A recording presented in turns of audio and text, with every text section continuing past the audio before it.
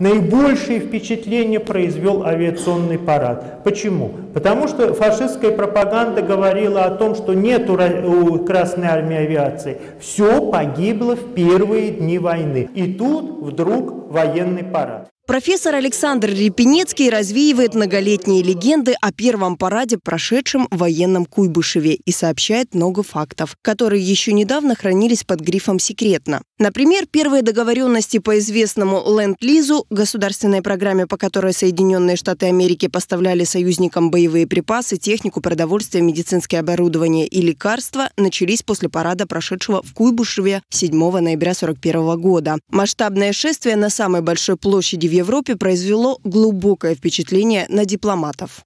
Куйбышевский парад, он был не только самым э, мощным, полтора часа продолжался в то время как 40 и 20 минут в других городах, но и показал э, всю мощь Красной Армии, а показал не только перед э, гражданами нашей страны, но и главное перед э, посольством, перед представителями иностранных держав, дабы на параде были все военные атташе посольств, которые были представлены в Советском Союзе. Естественно, это повлияло и на э, ленд-лиз, на лекцию пришли студенты средних и высших учебных образовательных учреждений города. Многие после встречи уходили под впечатлением.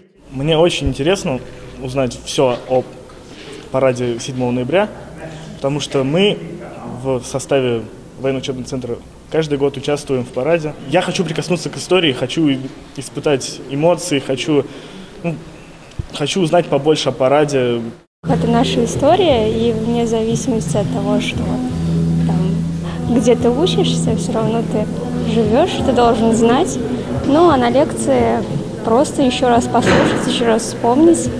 А основные моменты, конечно, узнать. Это важно и для студентов не только третьего курса, но и первого, и вообще для всех.